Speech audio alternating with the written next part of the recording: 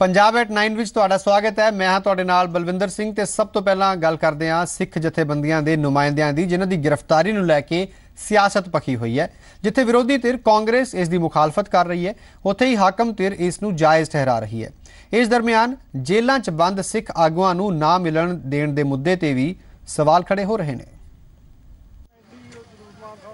ਨਾਭਾ ਜੇਲ੍ਹ 'ਚ ਬੰਦ ਸਿੱਖ ਜਥੇਬੰਦੀਆਂ ਦੇ ਨੁਮਾਇੰਦਿਆਂ ਨਾਲ ਮੁਲਾਕਾਤ ਕਰਨ ਪਹੁੰਚੇ ਅਕਾਲੀ ਦਲ ਅੰਮ੍ਰਿਤਸਰ ਮੁਖੀ ਸਿਮਰਨਜੀਤ ਸਿੰਘ ਮਾਨ ਇਸ ਗੱਲੋਂ ਖਫਾ ਨੇ ਕਿ ਪੁਲਿਸ ਵੱਲੋਂ ਉਹਨਾਂ ਨੂੰ ਮਿਲ ਨਹੀਂ ਦਿੱਤਾ ਗਿਆ। ਨਾਭਾ ਪਹੁੰਚੇ ਮਾਨ ਨੂੰ ਜੇਲ੍ਹ ਤੋਂ 3 ਕਿਲੋਮੀਟਰ ਪਹਿਲਾਂ ਹੀ ਰੋਕ ਦਿੱਤਾ ਗਿਆ, ਜਿਸ ਤੋਂ ਨਾਰਾਜ਼ ਸਿਮਰਨਜੀਤ ਸਿੰਘ ਮਾਨ ਨੇ ਗ੍ਰਿਫਤਾਰੀਆਂ ਨੂੰ ਲੈ ਕੇ ਸਵਾਲ ਖੜੇ ਕੀਤੇ ਨੇ। ਜਿੰਨੇ ਸਾਡੇ ਜਥੇਦਾਰ ਜਿਹੜੇ ਹੈਗੇ ਆ, ਉਹਨਾਂ ਨੂੰ ਜੇਲ੍ਹਾਂ ਦੇ ਵਿੱਚ ਦਿੱਤਾ ਹੈ। ਦਾਤੂਵਾਲ ਸਾਹਿਬ ਨੂੰ, ਫਿਰ ਅਜਨਾਲਾ ਸਾਹਿਬ ਨੂੰ, ਫਿਰ ਮੰਡ ਸਾਹਿਬ ਨੂੰ। ਇਹ ਚੀਜ਼ ਬੜੀ ਗਲਤ ਹੈ। ਅਸੀਂ ਚਾਹੁੰਦੇ ਹਾਂ ਕਿ ਸਰਕਾਰ ਸਾਰੇ ਜਿਹੜੇ ਸਾਡੇ ਜਥੇਦਾਰ ਹੈ ਦਿੱਲੀ ਦੇ ਵਿੱਚ ਵੀ ਹੈਗੇ ਆ ਇੱਥੇ ਵੀ ਹੈਗੇ ਆ ਉਹਨਾਂ ਦੀ ਫਟਾਫਟ ਰਿਹਾਈ ਕਰਨ। ਸਵਾਲ ਸਿੱਖ ਜਥੇਬੰਦੀਆਂ ਦੇ ਨੁਮਾਇੰਦਿਆਂ ਦੀ ਗ੍ਰਿਫਤਾਰੀ ਨੂੰ ਲੈ ਕੇ ਉੱਠ ਰਹੇ ਨੇ ਪਰ ਸਰਕਾਰ ਦੀ ਦਲੀਲ ਹੈ ਕਿ ਕਾਨੂੰਨ ਵਿਵਸਥਾ ਦੇ ਮੱਦੇਨਜ਼ਰ ਇਹ ਗ੍ਰਿਫਤਾਰੀਆਂ ਹੋਈਆਂ ਨੇ। ਨਾਲ ਹੀ ਆਉਣ ਵਾਲੇ ਦਿਨਾਂ 'ਚ ਹੋਰ ਗ੍ਰਿਫਤਾਰੀਆਂ ਦੇ ਸੰਕੇਤ ਵੀ ਦਿੱਤੇ ਜਾ ਰਹੇ ਨੇ। ਇਹਨਾਂ ਦੀ ਤਾਕਤ ਤਾਂ ਤੁਸੀਂ ਦੇਖ ਹੀ ਲਈ ਹੈ। 30 ਬੰਦੇ ਅੰਦਰ ਕੀਤੇ ਐ? ਐ ਜਮਾ ਸ਼ਾਂਤੀ ਪੰਜਾਬ 'ਚ। ਇਹਨਾਂ ਦੀ ਘਰ ਵਾਲੀਆਂ ਵੀ ਇਹਨਾਂ ਨੂੰ ਮਿਲ ਨਹੀਂ ਗਈਆਂ। ਤੇ ਜਿਹੜੇ ਦੋ ਚਾਰ ਹੋਰ ਭੱਜੇ ਫਿਰਦੇ ਐ, ਪੰਜ ਚਾਰ ਦਿਨ ਦੀ ਖੇਡ ਹੋਇਆ ਸਰਬੱਤ ਖਾਲਸਾ ਤੋਂ ਬਾਅਦ ਉਲੀਕੇ ਸਿੱਖ ਜਥੇਬੰਦੀਆਂ ਨੇ ਸੰਘਰਸ਼ ਨੂੰ ਵੇਖਦਿਆਂ ਕੀਤੀਆਂ ਗ੍ਰਿਫਤਾਰੀਆਂ ਨੂੰ ਲੈ ਕੇ ਜਿੱਥੇ ਪ੍ਰਸ਼ਾਸਨ ਤੇ ਸਵਾਲ ਖੜੇ ਕੀਤੇ ਜਾ ਰਹੇ ਨੇ, ਉੱਥੇ ਇਸ ਪਿੱਛੇ ਦਲੀਲ ਹੈ ਵਿਵਸਥਾ ਨੂੰ ਦੱਸਿਆ ਜਾ ਰਿਹਾ ਹੈ। ਪਟਿਆਲਾ ਤੋਂ ਅਵਤਾਰ ਗਿੱਲ ਦੇ ਨਾਲ Ajay Mahajan, Zee media, Gurdaspur.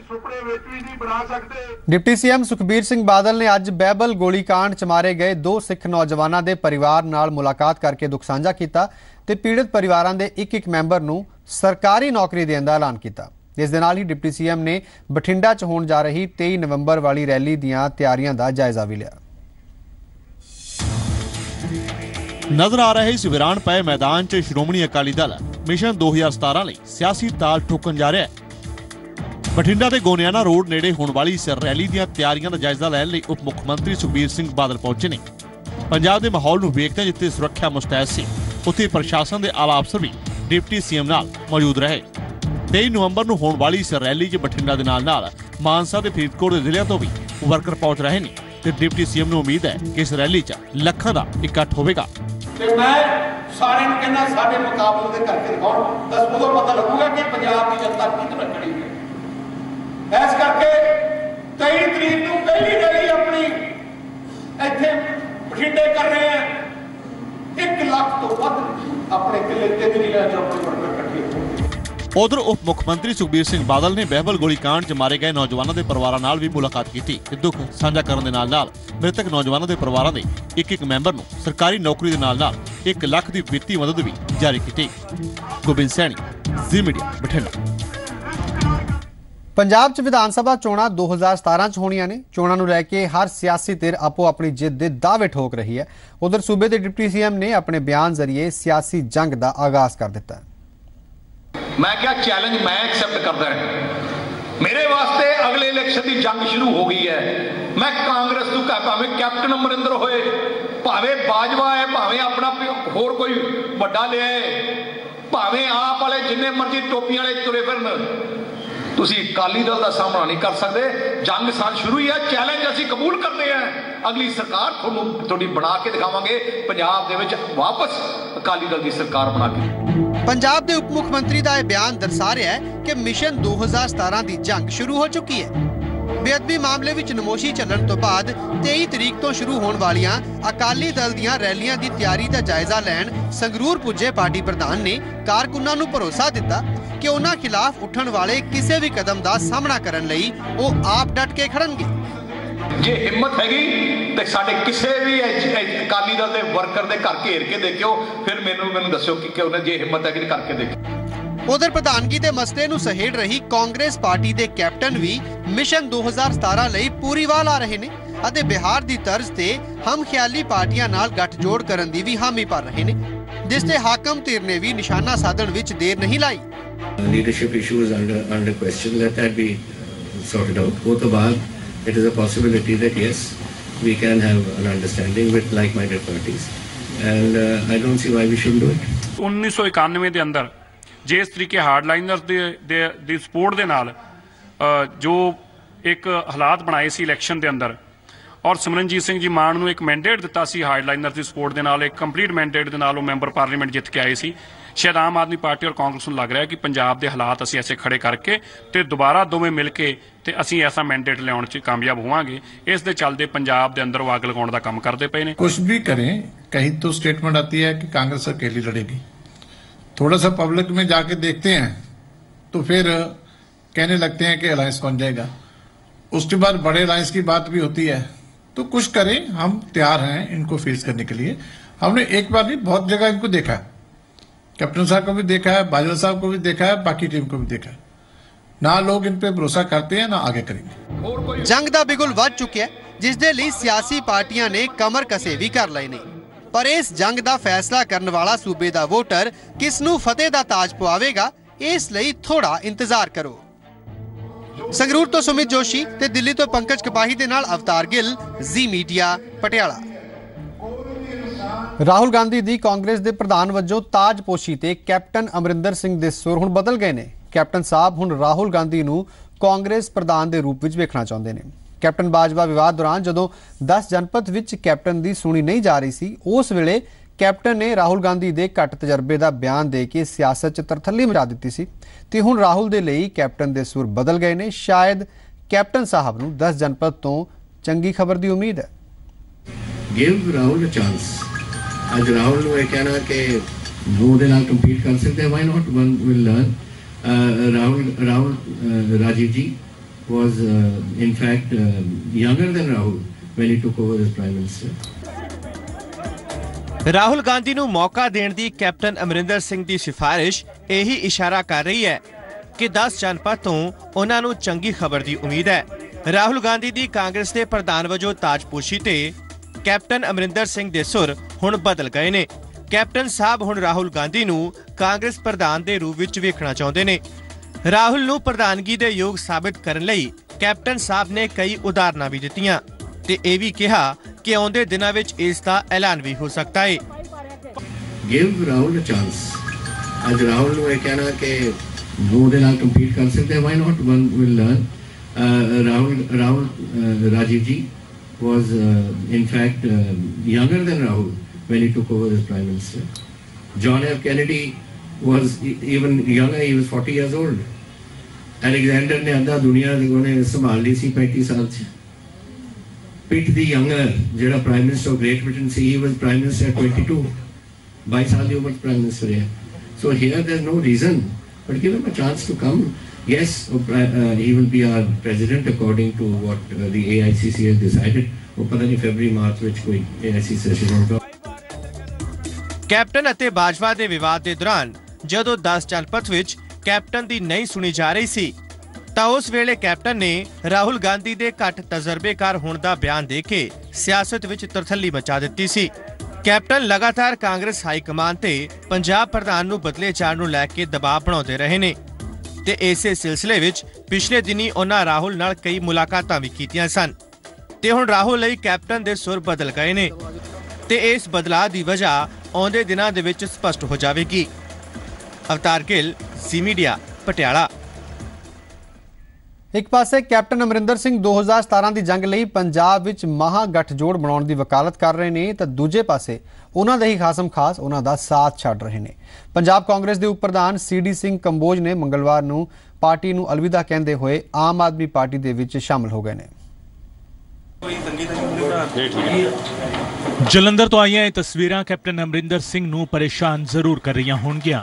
Punjab Congress ਦੇ ਮੌਜੂਦਾ ਉਪ ਪ੍ਰਧਾਨ ਅਤੇ ਕੈਪਟਨ ਧੜੇ ਦੇ ਖਾਸ ਸਿਪਾਸਲਾਰ ਸੀਡੀ ਸਿੰਘ ਕੰਬੋਜ ਕਾਂਗਰਸ ਛੱਡ ਕੇ ਆਮ ਆਦਮੀ ਪਾਰਟੀ ਵਿੱਚ ਸ਼ਾਮਲ ਹੋ ਗਏ ਨੇ। ਸੀਡੀ ਸਿੰਘ ਕੰਬੋਜ ਹੀ ਉਹ ਸ਼ਖਸ ਨੇ ਜਿਨ੍ਹਾਂ ਨੇ ਖੁੱਲ ਕੇ ਸਭ ਤੋਂ ਪਹਿਲਾਂ ਕੈਪਟਨ ਦੀ ਪ੍ਰਧਾਨਗੀ ਲਈ ਬਿਨਾਂ ਹਾਈ ਕਮਾਂਡ ਦੇ ਡਰ ਤੋਂ ਵਕਾਲਤ ਕੀਤੀ ਸੀ। ਪਰ ਹੁਣ ਸੀਡੀ ਸਿੰਘ ਕੰਬੋਜ ਨੇ ਹੀ ਕਾਂਗਰਸ ਦਾ ਸਾਥ ਛੱਡ ਦਿੱਤਾ ਹੈ। ਕਾਂਗਰਸ ਨੂੰ ਅਲਵਿਦਾ ਕਹਿਣ ਪਿੱਛੇ ਕੰਬੋਜ ਕਾਂਗਰਸ ਦੇ ਅੰਦਰੂਨੀ ਕਲੇਸ਼ ਨੂੰ ਵਜ੍ਹਾ ਦੱਸ ਰਹੇ ਨੇ। ਇਸ ਵੇਲੇ ਪੂਰੇ ਪੰਜਾਬ ਵਿੱਚ ਇੱਕ ਤਰ੍ਹਾਂ ਨਾਲ ਐਨਆਰਕੀ ਰਾਜਕਤਾ ਹੈ। ਦੇ ਵਿੱਚ ਕਾਂਗਰਸ ਪਾਰਟੀ ਅਕਾਲੀ ਦਲ ਨੂੰ ਚੁਣੌਤੀ ਦੇਣ ਦੇ ਕਾਬਿਲ ਨਹੀਂ ਹੈ। ਉਧਰ ਕਾਂਗਰਸ ਦੇ ਬਾਗੀ ਆਗੂਆਂ ਦੇ ਆਮ ਆਦਮੀ ਪਾਰਟੀ ਵਿੱਚ ਸ਼ਾਮਿਲ ਹੋਣ ਤੇ ਪਾਰਟੀ ਦੇ ਕਨਵੀਨਰ ਸੁੱਚਾ ਸਿੰਘ ਛੋਟੇਪੁਰ ਨੇ ਉਹਨਾਂ ਦਾ ਸਵਾਗਤ ਕੀਤਾ ਹੈ। ਉਹ ਕਾਂਗਰਸ ਦੇ ਵਿੱਚ ਸੀਗੇ। ਉਹ ਆਮ ਆਦਮੀ ਪਾਰਟੀ ਦੀਆਂ ਪਾਲਿਸੀਆਂ ਪ੍ਰੋਗਰਾਮਾਂ ਨੂੰ ਕੇਜਰੀਵਾਲ ਦੇ ਕੰਮਕਾਰ ਨੂੰ ਦੇਖ ਕੇ ਉਹ ਇਹਦੇ ਨੂੰ ਅਟੈਕਟ ਹੋਇਆ ਸਾਡੀ ਪਾਰਟੀ ਵਿੱਚ ਸ਼ਾਮਲ ਹੋਇਆ। ਮੈਂ ਉਹਨਾਂ ਨੂੰ ਵੈਲਕਮ ਕਰਦਾ। 2017 ਲਈ ਸੁਖਬੀਰ ਦੀ ਲਲਕਾਰ ਤੇ ਕੈਪਟਨ ਦੀ ਮਹਾਗਠਜੋੜ ਦੀ ਦਹਾੜ ਵਿੱਚ ਕੈਪਟਨ ਦੇ ਸਭ ਤੋਂ ਖਾਸਮ ਖਾਸ ਆਗੂ ਸੀਡੀ ਸਿੰਘ ਕੰਬੋਜ ਦਾ ਪਾਰਟੀ ਨੂੰ ਅਲਵਿਦਾ ਕਹਿਣਾ। ਇਹ ਇਸ਼ਾਰਾ ਕਰਨ ਲਈ ਕਾਫੀ ਹੈ ਕਿ ਚੋਣਾਂ ਨੂੰ ਭਾਵੇਂ ਸਵਾ ਸਾਲ ਦਾ ਵਕਤ ਬਚਿਆ ਹੈ, ਪਰ ਜੋੜ ਤੋੜ ਦੀ ਸਿਆਸਤ ਵਿੱਚ ਆਗੂਆਂ ਨੇ ਆਪਣਾ ਸਿਆਸੀ ਭਵਿੱਖ ਤਲਾਸ਼ਣਾ ਵੀ ਸ਼ੁਰੂ ਕਰ ਦਿੱਤਾ ਹੈ। Rajiv Wadhwa, Zee media, Jalandhar. ਗੱਲ 84 ਦੀ ਕਰਦੇ ਹਾਂ। ਜਗਦੀਸ਼ ਟਾਈਟਲਰ ਦੇ ਖਿਲਾਫ ਕਲੋਜ਼ਰ ਰਿਪੋਰਟ ਫਾਈਲ ਕਰਨ ਵਾਲੀ ਸੀਬੀਆਈ ਹੁਣ ਟਾਈਟਲਰ ਖਿਲਾਫ ਮੁੜ ਤੋਂ ਜਾਂਚ ਕਰਨ ਦੀ ਗੱਲ ਕਹਿ ਰਹੀ ਹੈ।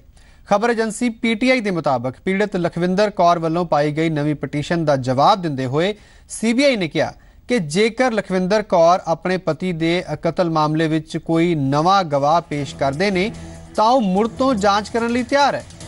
ਸੀਬੀਆਈ ਨੇ ਅਦਾਲਤ ਵਿੱਚ ਕਿਹਾ ਕਿ ਜੇਕਰ ਅਦਾਲਤ ਲਖਵਿੰਦਰ ਕੌਰ ਨੂੰ ਗਵਾਹ ਪੇਸ਼ ਕਰਨ ਦੇ ਲਈ ਹੋਰ ਵਕਤ ਦਿੰਦੀ ਹੈ, ਤਾਂ ਉਹਨਾਂ ਨੂੰ ਕੋਈ ਇਤਰਾਜ਼ ਨਹੀਂ ਹੋਏਗਾ। ਲਖਵਿੰਦਰ ਕੌਰ ਦੇ ਵਕੀਲ ਗੁਰਬਖਸ਼ ਸਿੰਘ ਨੇ ਅਦਾਲਤ ਵਿੱਚ ਪਟੀਸ਼ਨ ਪਾਈ ਸੀ ਕਿ ਜੇਕਰ ਗਵਾਹ ਨੂੰ ਪੂਰੀ ਸੁਰੱਖਿਆ ਦਿੱਤੀ ਜਾਏ, ਤਾਂ ਗਵਾਹ ਅਦਾਲਤ ਵਿੱਚ ਪੇਸ਼ ਹੋਣ ਨੂੰ ਤਿਆਰ ਹੈ।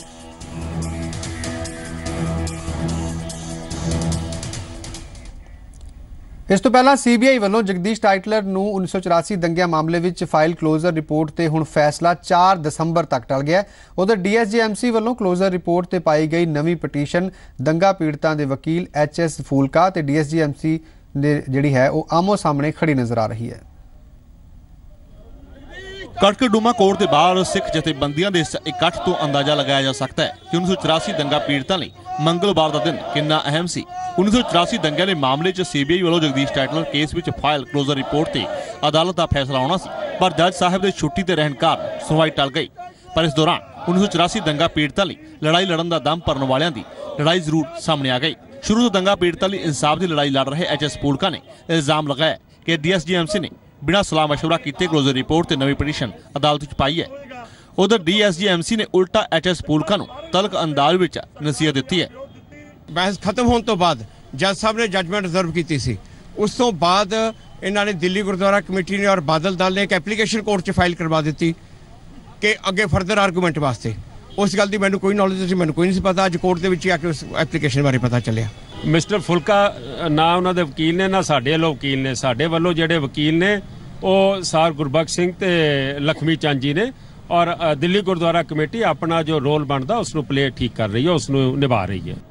ਇਨਸਾਫ ਲਈ 31 ਸਾਲ ਦੀ ਇਹ ਜੰਗ ਕਦੋਂ ਆਪਣੇ ਮੁਕਾਮ ਤੇ ਪਹੁੰਚੇਗੀ? ਸ਼ਾਇਦ ਕਿਸੇ ਨੂੰ ਨਹੀਂ ਪਤਾ। ਕੜਕੜਡੂਮਾ ਕੋਰਟ ਦੇ ਸਾਹਮਣੇ ਇਨਸਾਫ ਦੀ ਮੰਗ ਕਰਨ ਵਾਲੇ ਸਿੱਖ ਸੰਗਠਨ ਹਰ ਵਾਰ ਇਸੇ ਜੋਸ਼ੋ ਖਰੋਸ਼ ਨਾਲ ਸਰਗਰਮ ਨਜ਼ਰ ਆਉਂਦੇ ਨੇ। ਪਰ ਸ਼ਾਇਦ ਹੁਣ ਤੱਕ ਇਸ ਤੇ ਸਿਰਫ ਤੇ ਸਿਰਫ ਸਿਆਸਤ ਹੁੰਦੀ ਆਈ ਹੈ। ਮੰਗਲਵਾਰ ਨੂੰ ਅਦਾਲਤ ਦੇ ਬਾਹਰ ਕੁਝ ਅਜਿਹੀ ਤਸਵੀਰ ਮੁੜ ਵੇਖਣ ਨੂੰ ਮਿਲੀ। ਇਨਸਾਫ ਦੀ ਉਮੀਦ ਸੀ, ਪਰ ਸਿਆਸਤ ਅੱਜ ਵੀ ਉਮੀਦਾਂ ਦੇ ਭਾਰੀ ਨਜ਼ਰ ਆਈ। Pankaj Kapahi, Zee media, Delhi. Punjab 'ਚ ਗੁਰੂ ਗ੍ਰੰਥ ਸਾਹਿਬ ਦੀ ਬੇਅਦਬੀ ਦੇ ਮਾਮਲਿਆਂ ਤੋਂ ਬਾਅਦ ਹੁਣ ਜ਼ਿਲ੍ਹਾ ਪ੍ਰਸ਼ਾਸਨ ਵੀ ਮੁਸਤੈਦ ਹੋ ਗਏ ਲੱਗਦੇ ਨੇ। ਬਠਿੰਡਾ ਵਿੱਚ ਜ਼ਿਲ੍ਹਾ ਪ੍ਰਸ਼ਾਸਨ ਨੇ ਅਜਿਹੀਆਂ 800 ਥਾਵਾਂ ਦੀ ਚੋਣ ਕੀਤੀ, ਜਿੱਥੇ 1730 ਕੈਮਰੇ ਲਾਏ ਜਾਣਗੇ। ਸੂਬੇ 'ਚ ਵੱਖ-ਵੱਖ ਥਾਵਾਂ ਤੋਂ ਸਾਹਮਣੇ ਆਉਂਦੇ ਧਾਰਮਿਕ ਗ੍ਰੰਥਾਂ ਦੀ ਬੇਅਦਬੀ ਦੀਆਂ ਘਟਨਾਵਾਂ ਤੋਂ ਬਾਅਦ ਸੂਬਾ ਸਰਕਾਰ ਸਚੇਤ ਹੋ ਗਈ ਹੈ। ਹਰ ਜ਼ਿਲ੍ਹੇ, ਹਰ ਪਿੰਡ, ਹਰ ਕਸਬੇ 'ਚ ਧਾਰਮਿਕ ਥਾਵਾਂ ਤੇ ਸੀਸੀਟੀਵੀ ਕੈਮਰੇ ਲਾਏ ਜਾ ਰਹੇ ਨੇ ਤਾਂ ਕਿ ਸ਼ਰਾਰਤੀ ਅਨਸਰਾਂ ਤੇ ਨਜ਼ਰ ਰੱਖੀ ਜਾ ਸਕੇ। ਬਠਿੰਡਾ ਜ਼ਿਲ੍ਹਾ ਪ੍ਰਸ਼ਾਸਨ ਵੱਲੋਂ 800 ਥਾਵਾਂ ਦੀ ਚੋਣ ਕੀਤੀ ਗਈ ਹੈ, ਜਿੱਥੇ 1730 ਕੈਮਰੇ ਲਗਾਏ ਜਾਣਗੇ। ਬਠਿੰਡੇ ਵਿੱਚ 800 ਤੋਂ ਉੱਪਰ ਐਸੇ ਪੁਆਇੰਟ ਆਇਡੈਂਟੀਫਾਈ ਕੀਤੇ ਗਏ ਨੇ, ਜਿਨ੍ਹਾਂ ਦੇ ਵਿੱਚ ਲਗਭਗ 1730 ਕੈਮਰੇ ਜਿਹੜੇ ਆ ਉਹ ਲੱਗਣਗੇ। ਸੋ ਇਹ ਜਿਹੜੀ ਪ੍ਰੋਜੈਕਟ ਹੈ ਇਹ ਤਿਆਰ ਹੋ ਚੁੱਕਿਆ ਹੈ। ਸੁਰੱਖਿਆ ਦੇ ਮੱਦੇਨਜ਼ਰ ਖਾਸ ਤੌਰ ਤੇ ਮੰਦਰਾਂ ਤੇ ਗੁਰਦੁਆਰਿਆਂ ਬਾਹਰ ਸੀਸੀਟੀਵੀ ਕੈਮਰੇ ਲਗਾਏ ਜਾਣਗੇ।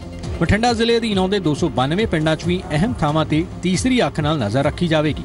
ਇਸ ਦੇ ਲਈ ਸਬ ਡਿਵੀਜ਼ਨ ਪੱਧਰ ਤੇ ਕਮੇਟੀਆਂ ਬਣਾਈਆਂ ਗਈਆਂ ਨੇ। ਬਠਿੰਡੇ ਦੇ 292 ਦੇ 92 ਪਿੰਡ ਜਿਹੜੇ ਆ ਤੇ ਸ਼ਹਿਰਾਂ ਦੇ ਵੀ ਜਿਹੜੇ ਮੇਨ ਮੇਨ ਪੁਆਇੰਟ ਹੈ ਉਹ ਇਸ ਚ ਕਵਰਡ ਨੇ ਤਾਂ ਹੀ ਜਾ ਕੇ ਇਹ ਦੇਖੋ ਤੁਸੀਂ 1700 ਕੈਮਰਾ ਲੱਗੇਗਾ। ਬਠਿੰਡਾ ਪੰਜਾਬ ਦਾ ਅਜਿਹਾ ਪਹਿਲਾ ਜ਼ਿਲ੍ਹਾ ਹੈ ਜਿੱਥੇ ਇੰਨੇ ਵੱਡੇ ਪੱਧਰ ਤੇ ਸੁਰੱਖਿਆ ਦੇ ਲਿਹਾਜ਼ ਨਾਲ ਪੁਖਤਾ ਇੰਤਜ਼ਾਮਾਤ ਕੀਤੇ ਜਾ ਰਹੇ ਨੇ। ਉਮੀਦ ਹੈ ਕਿ ਆਉਣ ਵਾਲੇ ਦਿਨਾਂ 'ਚ ਸੂਬੇ ਦੇ ਬਾਕੀ ਜ਼ਿਲ੍ਹਿਆਂ 'ਚ ਵੀ ਅਜਿਹੀ ਯੋਜਨਾਬੰਦੀ ਕੀਤੀ ਜਾਵੇਗੀ। Gobind Saini Zee media Bathinda. ਸਰਕਾਰੀ ਤੰਤਰ ਦੀ ਸ਼ਹੀਦਾਂ ਪ੍ਰਤੀ ਗੈਰ ਸੰਜੀਦਗੀ ਦੀਆਂ ਕਈ ਉਦਾਹਰਨਾਂ ਸਾਡੇ ਸਾਹਮਣੇ ਆ ਚੁੱਕੀਆਂ ਨੇ। ਬਾਵਜੂਦ ਇਸ ਦੇ ਇਹ ਵਰਤਾਰਾ ਜਾਰੀ ਹੈ। ਇਸ ਵਾਰ ਨੰਗਲ ਦੀ ਨਗਰ ਕੌਂਸਲ ਦਾ ਵਰਤਾਰਾ ਸ਼ਹੀਦ ਦੀ ਸ਼ਹਾਦਤ ਦੇ ਮਜ਼ਾਕ ਦੇ ਨਾਲ-ਨਾਲ ਆਰਟੀਆਈ ਪ੍ਰਤੀ ਸਰਕਾਰੀ ਬਾਬੂਆਂ ਦੇ ਰਵੱਈਏ ਤੇ ਵੀ ਸਵਾਲ ਖੜੇ ਕਰ ਰਿਹਾ ਹੈ। ਨੰਗਲ ਦੇ ਪਿੰਡ ਸਵਾਮੀਪੁਰ ਦੇ ਸ਼ਹੀਦ ਨਾਇਬ ਸੂਬੇਦਾਰ ਗੁਰਦਿਆਲ ਸਿੰਘ ਦਾ ਪਰਿਵਾਰ ਗੁੱਸੇ 'ਚ ਹੈ। ਗੁੱਸਾ ਹੈ ਇਹਨਾਂ ਦਸਤਾਵੇਜ਼ਾਂ 'ਚ ਮਿਲੀ ਜਾਣਕਾਰੀ ਤੇ। ਦਰਅਸਲ ਸ਼ਹੀਦ ਦੇ ਪਰਿਵਾਰ ਨੇ 4 ਸਾਲ ਪਹਿਲਾਂ ਕੀਤੇ ਗਏ ਸ਼ਹੀਦ ਦੀ ਯਾਦ 'ਚ ਬਣਵਾਏ ਜਾ ਰਹੇ ਯਾਦਗਾਰੀ ਗੇਟ ਦੇ ਸਰਕਾਰੀ ਵਾਅਦੇ ਦੀ ਹਕੀਕਤ ਜਾਣਨ ਲਈ ਆਰਟੀਆਈ ਦਾਇਰ ਕੀਤੀ ਸੀ, ਜਿਸ ਤੇ ਨੰਗਲ ਨਗਰ ਕੌਂਸਲ ਨੇ ਹੈਰਾਨਕੁਨ ਜਾਣਕਾਰੀ ਦਿੱਤੀ। ਮਹਿਕਮੇ ਨੇ ਇਹਨਾਂ ਨੂੰ ਸ਼ਹਿਰ 'ਚ ਆਵਾਰਾ ਪਸ਼ੂਆਂ ਦੀ ਗਿਣਤੀ ਦੀ ਜਾਣਕਾਰੀ ਮੁਹੱਈਆ ਕਰਵਾਈ, ਜਿਸ ਤੇ ਪਰਿਵਾਰ ਸਵਾਲ ਚੁੱਕ ਰਿਹਾ ਤੇ ਇਸ ਕੋਝੇ ਮਜ਼ਾਕ ਲਈ ਸਖਤ ਕਾਰਵਾਈ ਦੀ ਮੰਗ ਕਰ ਰਿਹਾ। ਕਿ ਨਗਰ ਕੌਂਸਲ ਨੰਗਲ ਦੇ ਵਿੱਚ ਕਿੰਨੇ ਅਵਾਰਾ ਗਾਂਵਾਂ ਕਿੰਨੇ ਅਵਾਰਾ ਸਾਂਢ ਘੁੰਮਦੇ ਨੇ, ਕਿੰਨੇ ਅਵਾਰਾ ਕੁੱਤੇ ਆ, ਬਲਕਿ ਸ਼ ਦੱਸੋ ਸ਼ਹੀਦਾਂ ਦਾ ਨਾ ਤੁਲਨਾ ਇੱਕ ਇਹਨਾਂ ਨੇ ਪ੍ਰਸ਼ਾਸਨ ਨੇ ਇਸ ਤਰ੍ਹਾਂ ਕੰਪੇਅਰ ਕਰਤਾ ਕਿ ਜਾਨਵਰਾਂ ਦੇ ਨਾਲ ਹੀ ਕਰ ਸਕਦੇ ਸੀ ਇਹ। ਸਿਰਫ ਇਹੀ ਮੰਗ ਹੈ ਪ੍ਰਸ਼ਾਸਨ ਵੱਲੋਂ ਵੀ ਜੋ ਵਾਅਦੇ ਉਹਨਾਂ ਨੇ ਕੀਤੇ ਸੀ ਉਹਨਾਂ ਨੂੰ ਜਲਦ ਤੇ ਜਲਦ ਪੂਰਾ ਕਰ ਦੇਣ। ਨਗਰ ਕੌਂਸਲ ਦੇ ਲਾਪਰਵਾਹੀ ਭਰੇ ਵਤੀਰੇ ਬਾਰੇ ਜਦ ਅਫਸਰਾਂ ਨੂੰ ਪੁੱਛਿਆ ਗਿਆ ਤਾਂ ਉਹਨਾਂ ਇਸ ਤੇ ਅਫਸੋਸ ਜ਼ਾਹਰ ਕੀਤਾ ਤੇ ਵੇਲਾ ਨਾ ਗਵਾਉਂਦੇ ਹੋਏ ਮੁਆਫੀ ਵੀ ਮੰਗ ਲਈ। ਬਹੁਤ ਹੀ ਅਫਸੋਸ ਦੀ ਗੱਲ ਹੈ ਮੇਰੇ ਲਈ ਪਰ ਮੈਂ ਸੋਚਦਾ ਵੀ ਜਿਸ ਵੀ ਕਰਮਚਾਰੀ ਤੋਂ ਇਹ ਲਾਪਰਵਾਹੀ ਹੋਈ ਹੈ ਜਵਾਬ ਦੇਣ 'ਚ ਉਹਦੇ ਖਿਲਾਫ ਤਫਤੀਸ਼ ਕਰਕੇ ਮੇਰੇ ਵੱਲੋਂ ਸਖਤ ਕਾਰਵਾਈ ਕੀਤੀ ਜਾਊਗੀ। ਪਰ ਮੈਂ ਫਿਰ ਵੀ ਉਹਦੇ ਵੱਲੋਂ ਵੀ ਤੇ ਆਪਣੇ ਦਫ਼ਤਰ ਵੱਲੋਂ ਉਸ ਪਰਿਵਾਰ ਤੋਂ ਮਾਹੀ ਮੰਗਦਾ ਵੀ ਇਹ ਚੀਜ਼ ਗਲਤ ਹੋਈ ਹੈ। ਸ਼ਹੀਦ ਦੇ ਪਰਿਵਾਰ ਨਾਲ ਮਜ਼ਾਕ ਕਰਨ ਦੇ ਨਾਲ ਹੀ ਮਹਿਕਮੇ ਦੇ ਲਾਪਰਵਾਹ ਮੁਲਾਜ਼ਮਾਂ ਨੇ ਆਰਟੀਆਈ ਨੂੰ ਲੈ ਕੇ ਮਹਿਕਮੇ ਦੀ ਗੈਰ ਸੰਜੀਦਗੀ ਨੂੰ ਬਿਆਨ ਕੀਤਾ ਹੈ, ਜਿਸ ਤੇ ਨਕੇਲ ਕੱਸੇ ਜਾਣ ਦੀ ਜ਼ਰੂਰਤ ਹੈ। Bimal Kumar, Zee media, Nangal. Punjab ਤੇ ਹਰਿਆਣਾ ਹਾਈ ਕੋਰਟ ਵਿੱਚ ਅੱਜ ਇੱਕ ਵੱਡਾ ਹਾਦਸਾ ਹੁੰਦੇ ਹੁੰਦੇ ਟਲ ਗਿਆ। ਚੰਗੀ ਗੱਲ ਇਹ ਰਹੀ ਕਿ ਲੋਕਾਂ ਨੇ ਇੱਥੇ ਵਕਤ ਰਹਿੰਦੇ ਅੱਗ ਤੇ ਕਾਬੂ ਪਾ ਲਿਆ, ਜਦਕਿ ਫਾਇਰ ਬ੍ਰਿਗੇਡ ਨੂੰ ਮੌਕੇ ਤੇ ਪਹੁੰਚਣ ਵਿੱਚ ਕਾਫੀ ਦੇਰ ਲੱਗ ਗਈ। ਤਾਂ ਇਹ ਪੰਜਾਬ ਹਰਿਆਣਾ ਹਾਈ ਕੋਰਟ ਦੇ ਵਿੱਚ ਜਿਹੜਾ ਸੀ, ਉਹ ਅੱਗ ਲੱਗੀ ਸੀ। ਉਸ ਤੋਂ ਇਲਾਵਾ ਇੱਕ ਹੋਰ ਖਬਰ ਲੈਣੇ ਆ ਕੀ ਕੋਈ ਨੌਜਵਾਨ 21 ਲੱਖ ਰੁਪਏ ਠੁਕਰਾ ਸਕਦਾ ਉਹ ਵੀ ਮਿੱਟੀ ਅਤੇ ਮਿਹਨਤ ਦੇ ਲਈ। ਜਵਾਬ ਹੋਏਗਾ ਨਹੀਂ। ਪਰ ਇੱਕ ਸ਼ਖਸ ਹੈ ਜਿਨ੍ਹਾਂ ਨੇ ਆਪਣੇ ਜਨੂਨ ਦੇ ਲਈ ਚੰਗੀ ਕੰਪਨੀ ਅਤੇ ਲੱਖਾਂ ਦੇ ਪੈਕੇਜ ਨੂੰ ਠੁਕਰਾ ਦਿੱਤਾ।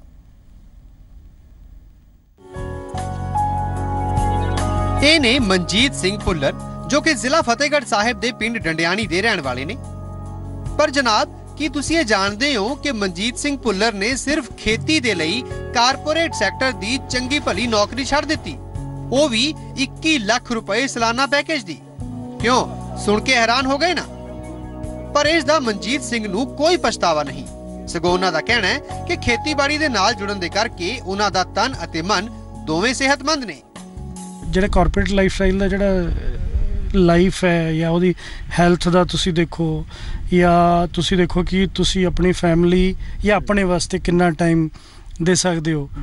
ਤੇ ਉਹ ਸਾਰੀ ਚੀਜ਼ਾਂ ਨੂੰ ਕੱਢ ਕੇ ਦੇਖੋ, ਪੈਸਾ ਕੱਲਾ ਹੀ ਉਹ ਕੰਮ ਨਹੀਂ ਮਤਲਬ ਆਪਣੇ ਆਂਦਾ ਉਹ ਵੀ ਉਹ ਚ ਜ਼ਿਆਦਾ ਤੁਸੀਂ ਮੈਂ ਇੱਕ ਸਭ ਤੋਂ ਚੀਜ਼ ਨੋਟਿਸ ਕੀਤੀ ਕਿ ਜੇ ਆਪਾਂ ਜ਼ਿਆਦਾ ਕਮਾ ਰਹੇ ਹਾਂ ਤਾਂ ਜ਼ਿਆਦਾ ਡਾਕਟਰਸ ਨੂੰ ਵੀ ਦੇ ਰਹੇ ਹਾਂ। ਮਨਜੀਤ ਸਿੰਘ ਆਰਗੈਨਿਕ ਖੇਤੀ ਨਾਲ ਜੁੜੇ ਨੇ, ਜੋ ਕਿ ਅੱਜਕੱਲ ਦੇ ਦੌਰ ਵਿੱਚ ਇੱਕ ਵੱਡੀ ਚੁਣੌਤੀ ਹੈ, ਕਿਉਂਕਿ ਜ਼ਿਆਦਾਤਰ ਕਿਸਾਨ ਫਸਲੀ ਚੱਕਰ ਵਾਲੀ ਖੇਤੀ ਕਰ ਰਹੇ ਨੇ। ਅਜਿਹੇ ਚ ਮਨਜੀਤ ਸਿੰਘ ਦਾ ਕਹਿਣਾ ਹੈ ਕਿ ਜੇ ਕਿਸਾਨ ਨੂੰ ਖੁਸ਼ਹਾਲ ਬਣਾਉਣਾ ਹੈ, ਤਾਂ ਸਾਨੂੰ ਆਪਣੀ ਸੋਚ ਬਦਲਣੀ ਹੋਵੇਗੀ।